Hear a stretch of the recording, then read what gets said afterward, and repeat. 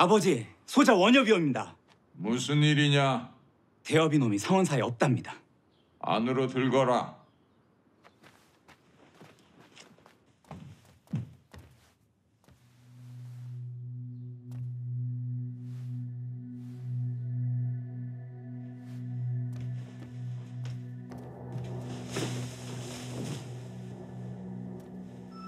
네가 왜 여기 있는 것이냐? 두고 온 서책이 있어 가지러 왔습니다. 뭐 핑계 김에 바람도 좀 쐬고요.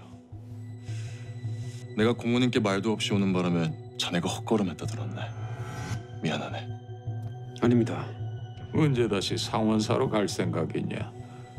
이왕 내려오는 거 며칠 있다 갈 생각입니다. 그래. 그러면 그동안의 얘기는 내일 하자꾸나. 물러가 쉬어라. 예 아버지.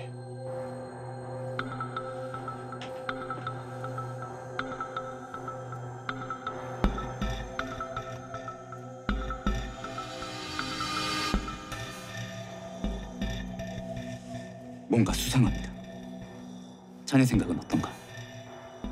대여비가 내게 어떤 아이인지 잘 알지 않는가. 오라버니께는 비밀로 해주게. 제발 부탁이네. 아무래도 길이 엇갈린 듯합니다.